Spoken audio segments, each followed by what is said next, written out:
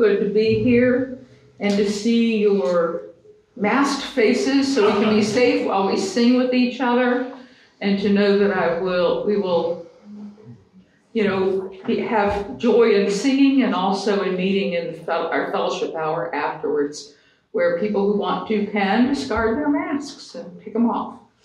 So thank you for being here. Thank you to everyone who joins us later on YouTube. We really treasure having an online audience, whether you are members of the church or hangers on.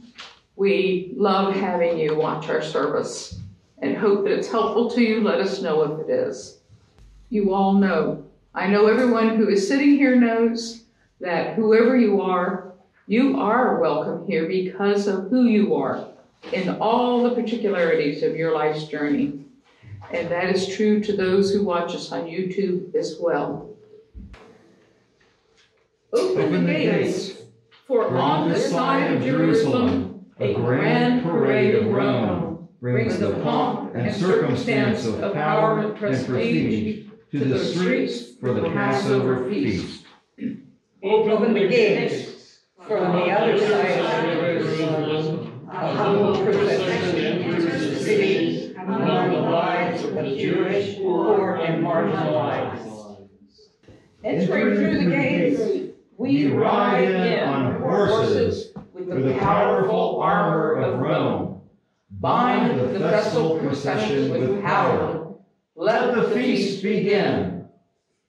Entering through the gates, Jesus comes riding on a donkey, and crowd brings the festival procession by laying down palm branches and shouting, Hosanna! Open to us the gates of God, and together we will proclaim, Blessed is the one who comes in the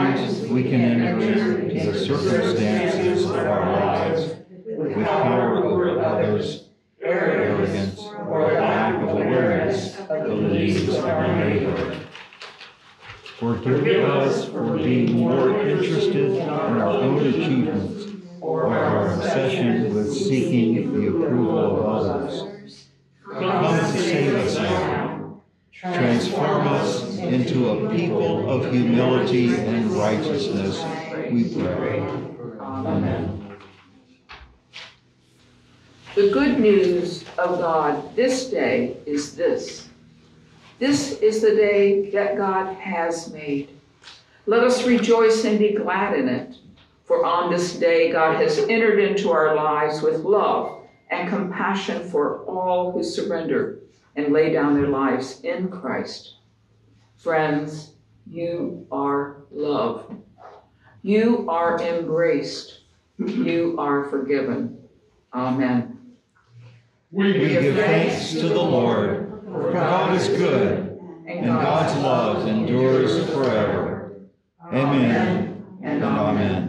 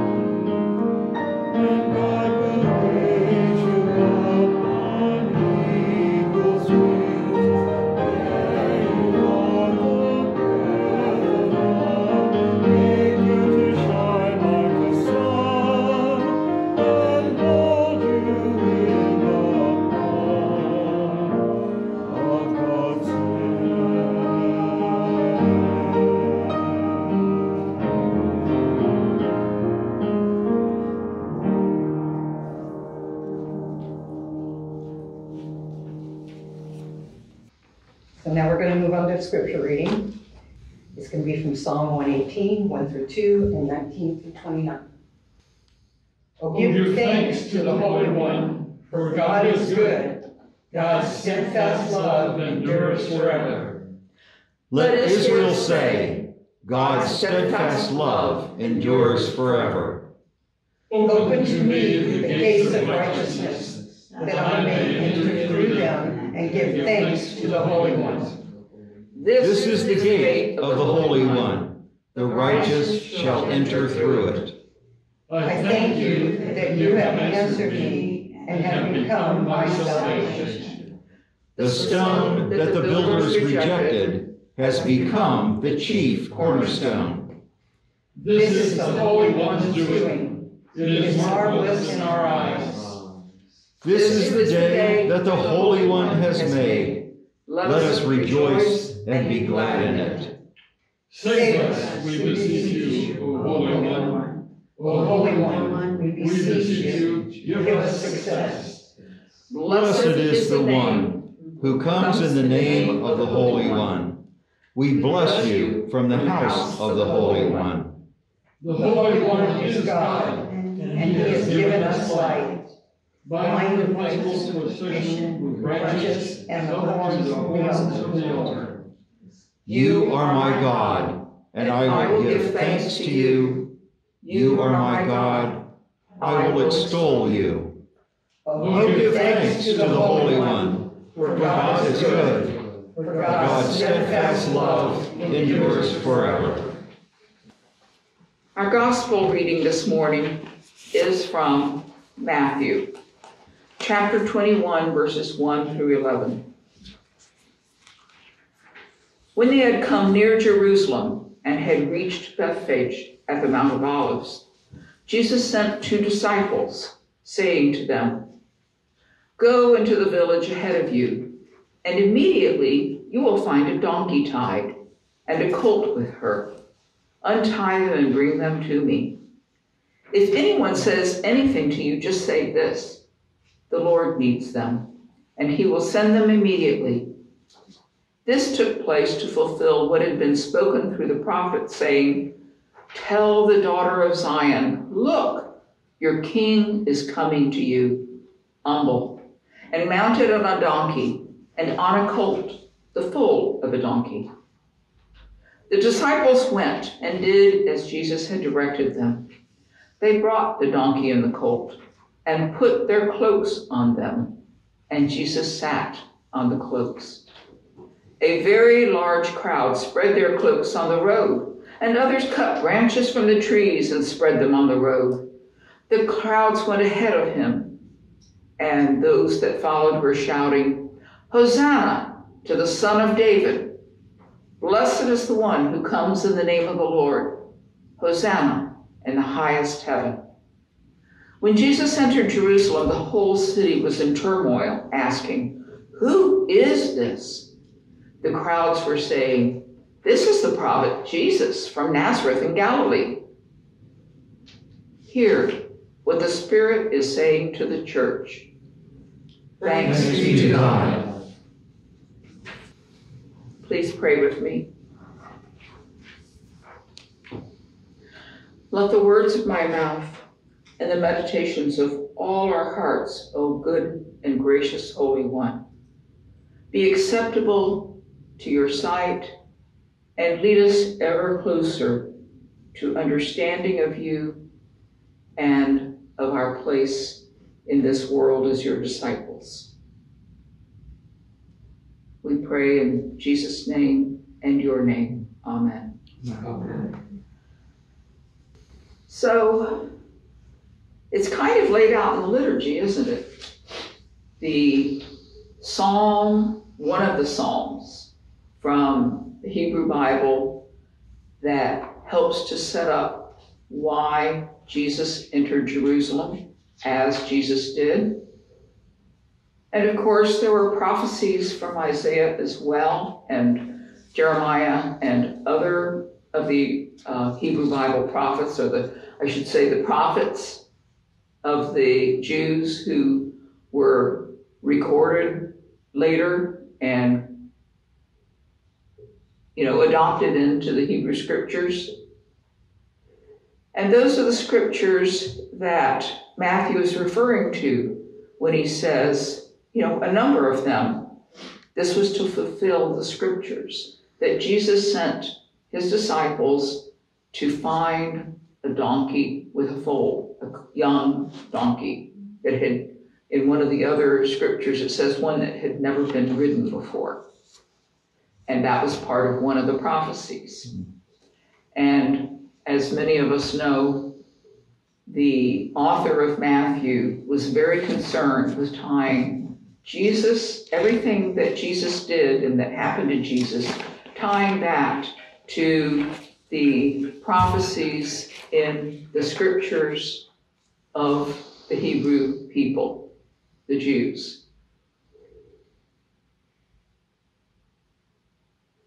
And then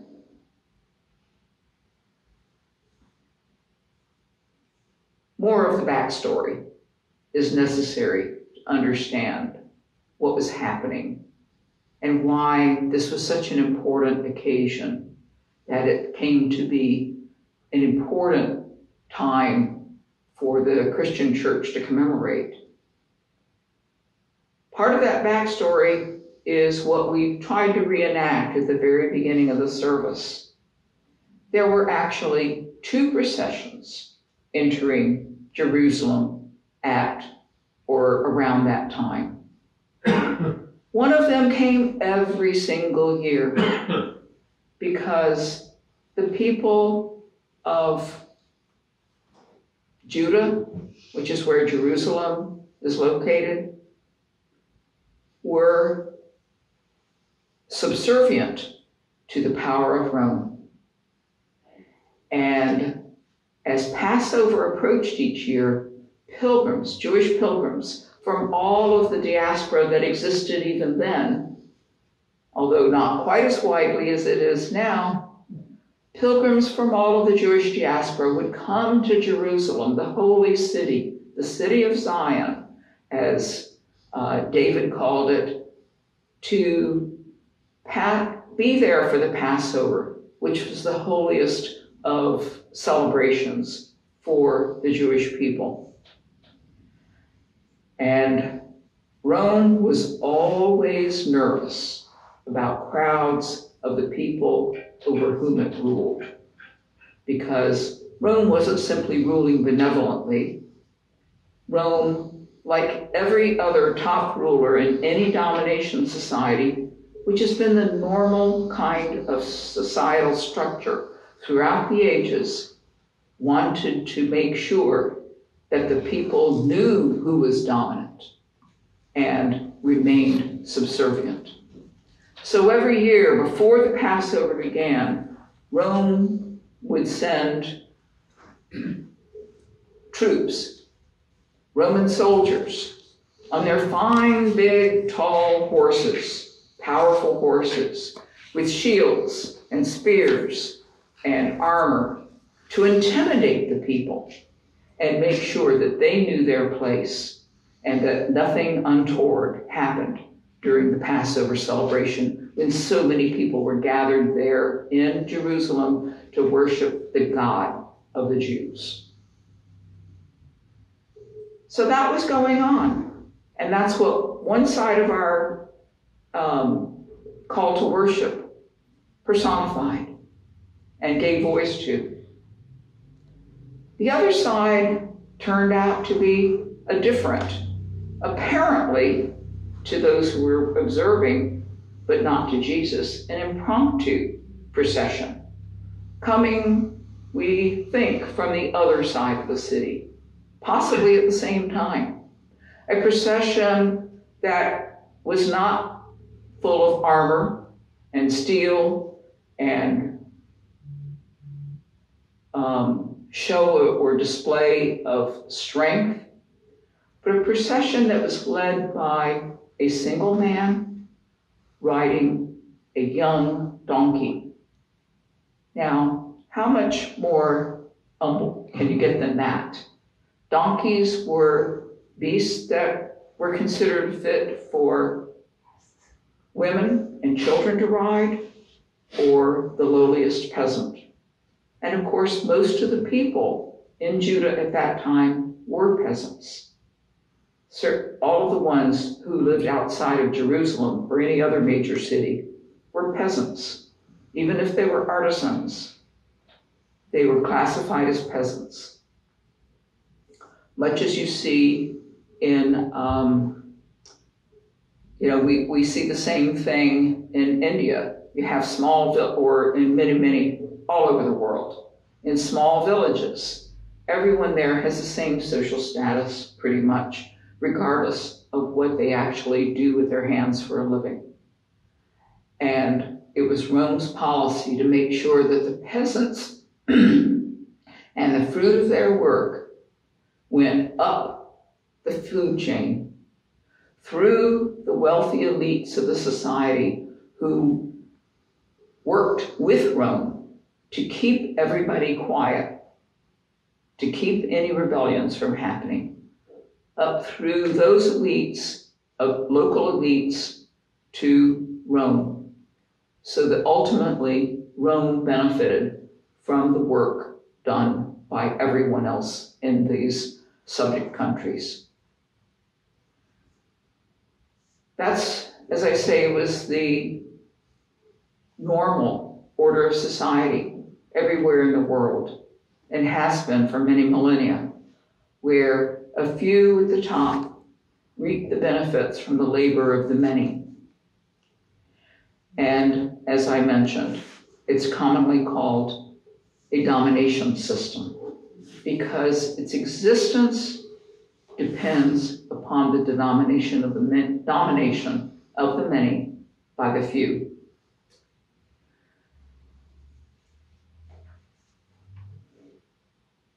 That's the backstory It helps us understand why Jesus' procession was so different and looked at as so differently because of the contrast with the processions that Rome would put on. And another piece of this is that the Jewish rulers, who were at this time the scribes and the priests of the temple, because they had been asked by Rome to be the local rulers there in Jerusalem, they had, in Rome's name, prohibited all processions unless they were pre approved by the Roman authorities or their, or their henchmen. And Jesus' procession could not have been approved. So the people who joined in Jesus' procession were really courting danger. They were acting in defiance of the domination system. And if we think about who, where Jesus came from, this small town of Nazareth, which was a town of peasants, including artisans like carpenters, but still all classed as peasants, people who lived off the land and who had to pay tribute both to the local governors at that time, the, the priests and scribes of the temple, as well as the Roman governor, at that time Pontius Pilate, but also on up the food chain to Rome. And the Jews had to collect those taxes on behalf of Rome.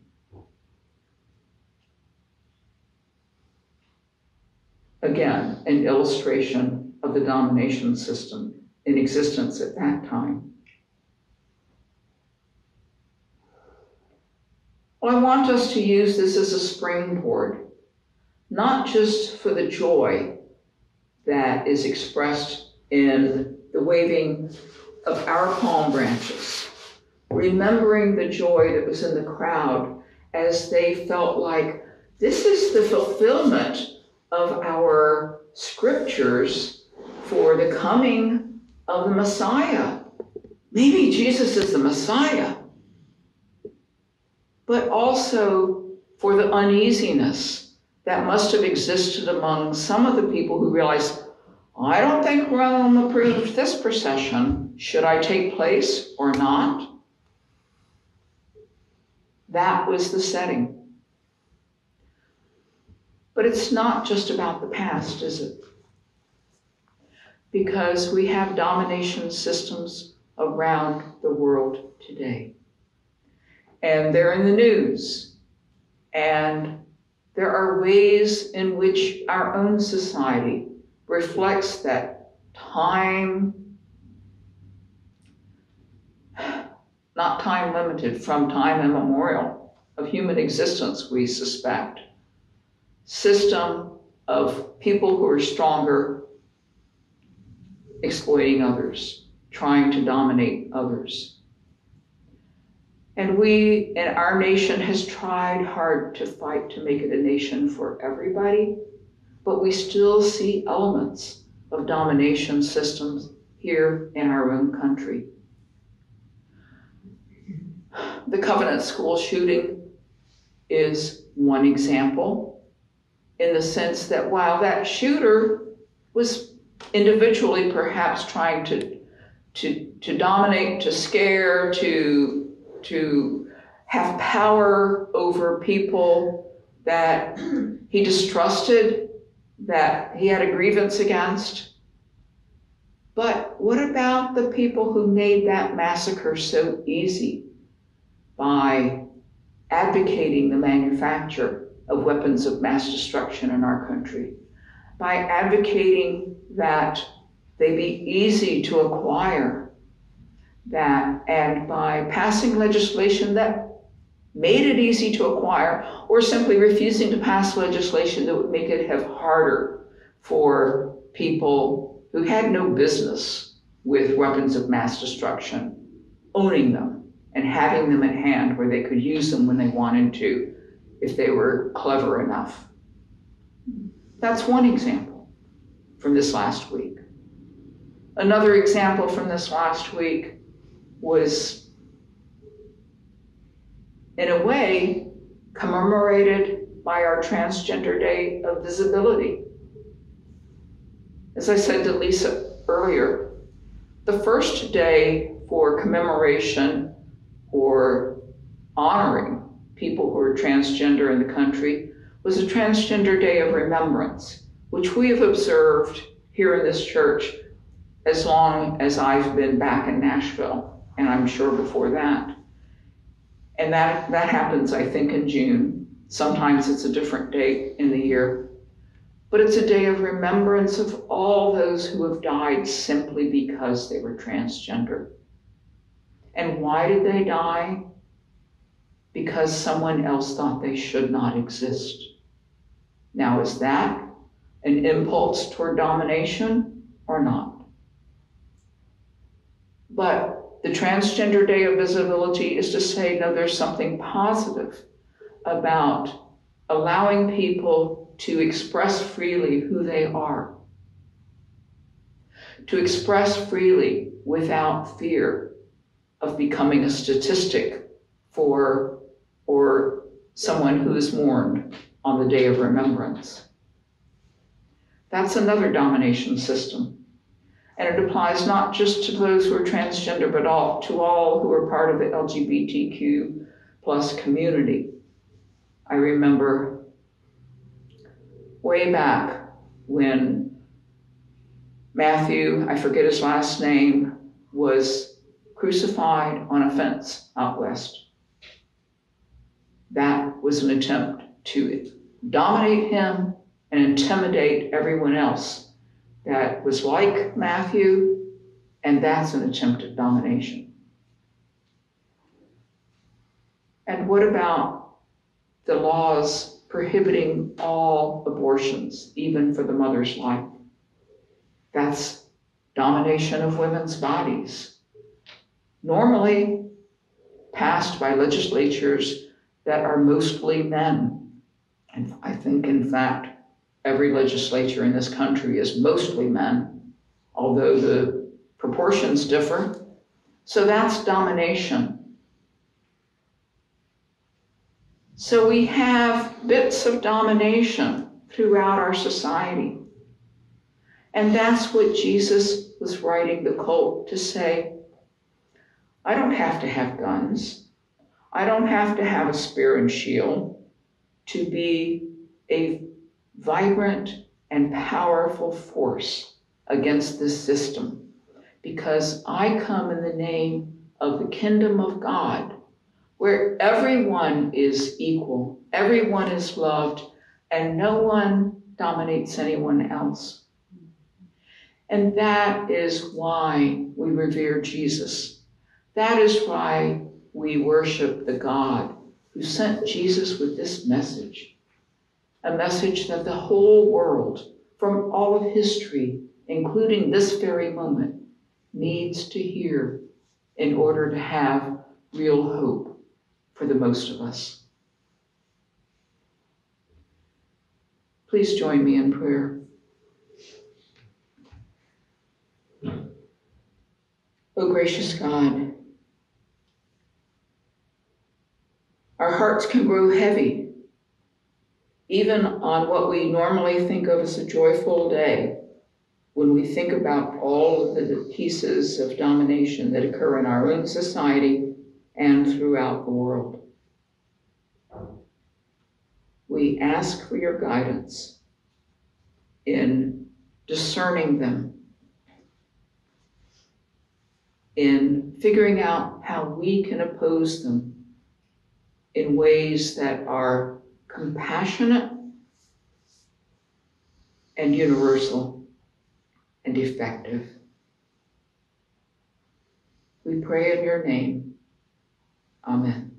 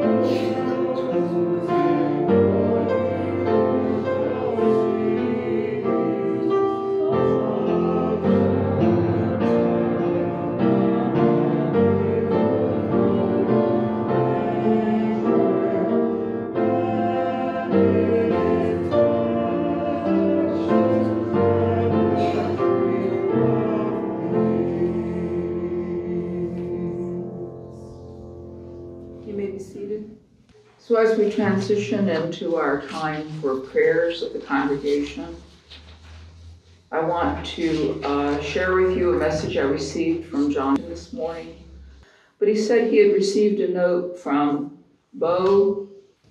Bo's son was at school Monday when the shooting went down, apparently at the Covenant School. To say we are in a fog is an understatement. It's a living nightmare. So John asked that we pray in support of Bo's son and entire family. And we also want to include, of course, all of the families that were affected by this shooting. I want to broaden the prayer to all of the families who've been affected by all of the school shootings in this country, which are too numerous at this point to name. That's a heavy prayer, but it's one that is needed, I think, for our healing as well as for Bo's family and all the others directly affected, because it does indirectly affect every single one of us in this country, one way or another. Please pray with me.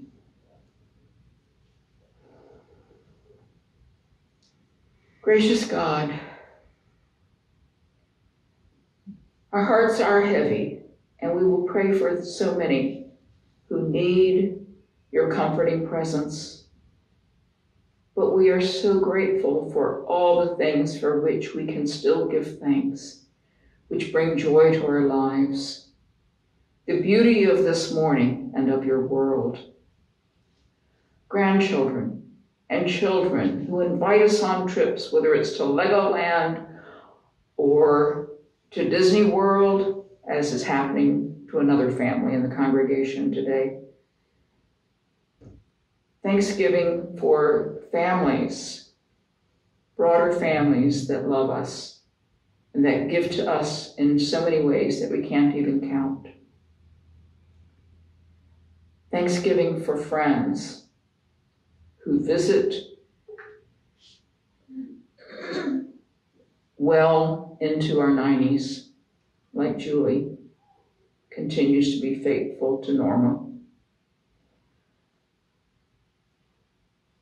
We also have gratitude that Angela's parents are doing well at the moment, that her father recovered against mm-hmm. some great fears, and that they're keeping on, continuing to treasure their lives and to enjoy their lives with Angela's support and also that of their church community there in Alabama. We're so grateful to hear that kind of story.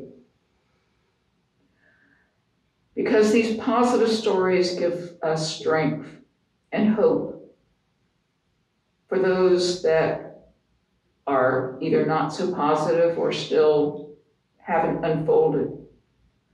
Stories like Blake's, where we ask that he have a team that recognizes the risks, plans against them, is prepared against them, and that all goes well.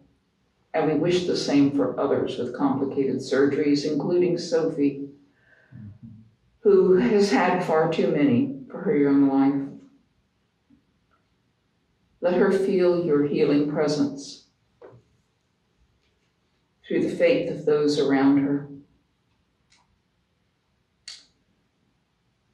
We also ask for your prayers for all those who are oppressed in some way in this world by gun violence that is perpetuated by a system of enablement of manufacturers, legislators,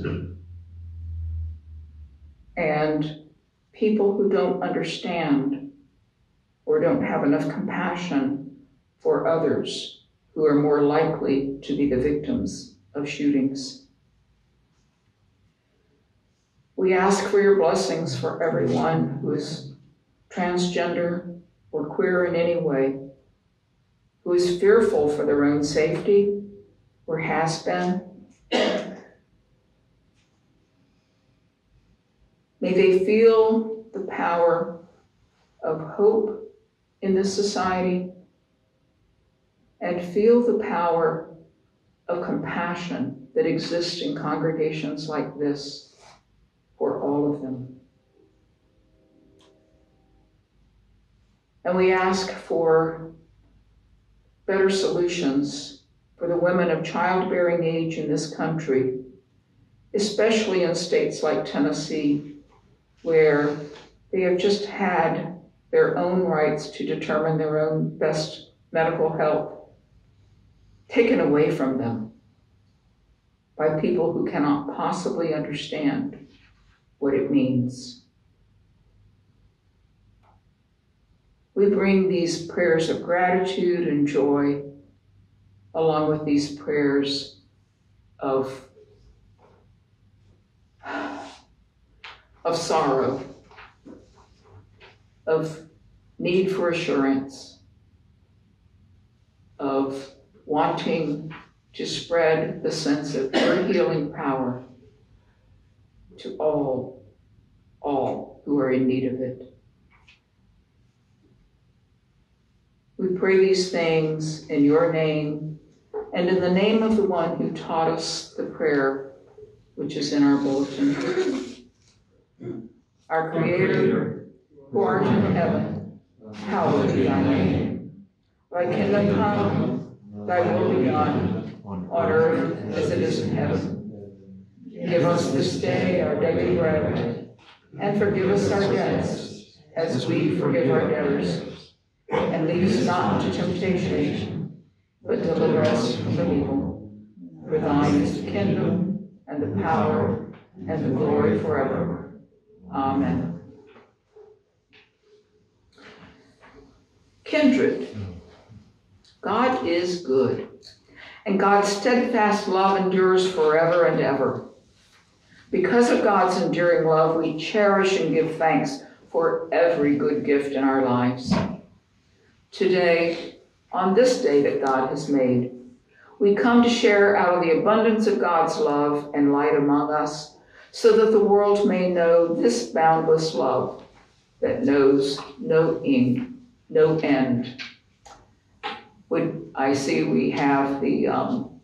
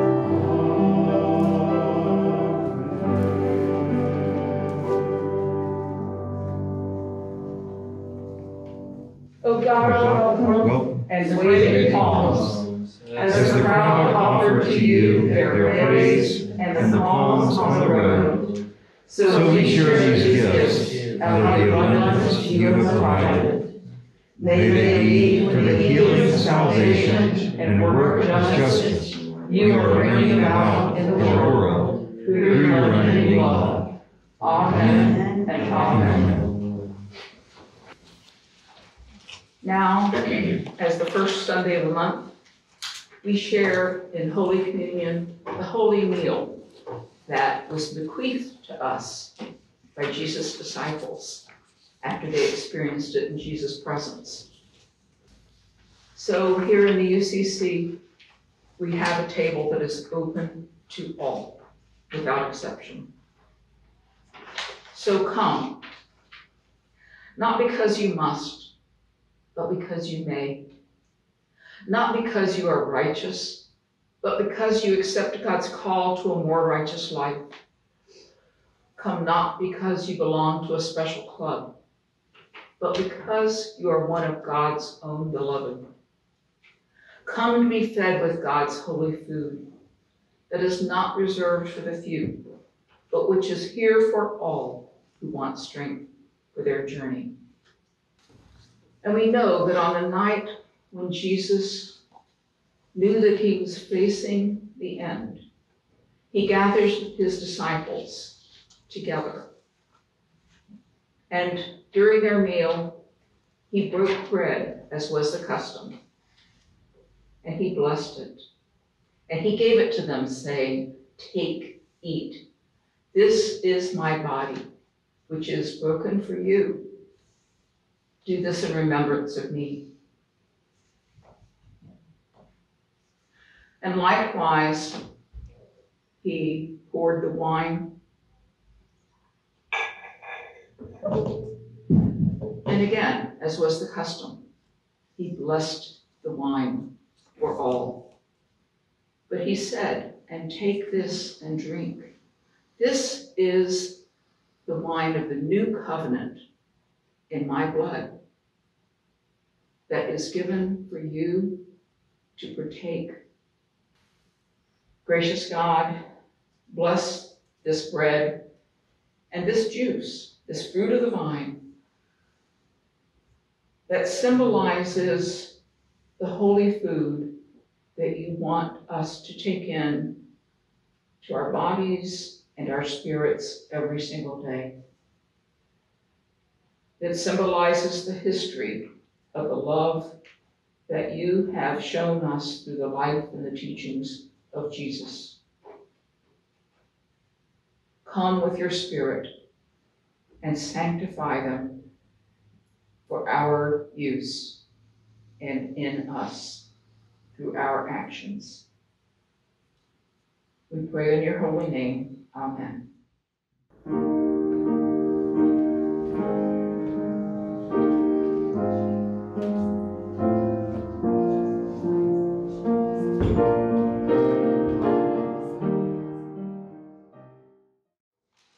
Please pray with me. Righteous One, it is not easy to follow your path. Your way requires intention and at times sacrifice. It requires distinguishing between those who are being dominated and those who are dominating or seeking to dominate. And it requires responding with loving compassion to all.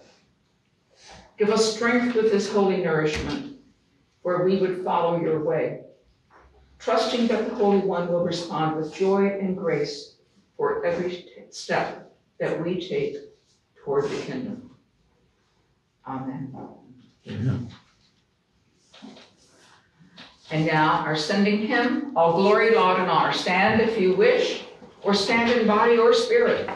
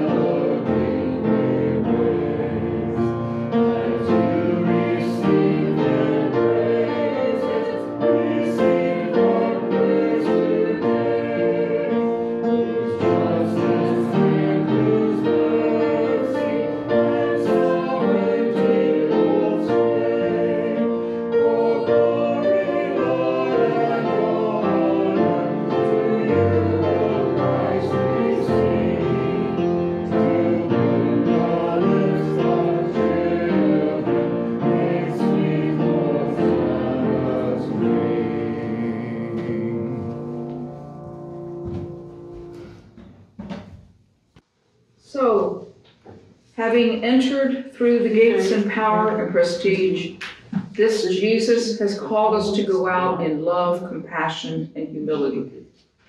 Having entered through the gates on donkeys and waving palms, this Jesus has come to save and now calls us to go out in hope, justice, and love. Together, we are embraced by an enduring and boundless love that forges us together in shouts of Hosanna, Hosanna in the highest. Friends, go forth humbly to serve the God whose love endures forever. Go forth in the name of Christ, who entered Jerusalem on a lowly donkey. Go forth in the strength of the Holy Spirit that calls us to rejoice in this very day that God has made. God's love endures forever. God's love endures forever. Amen.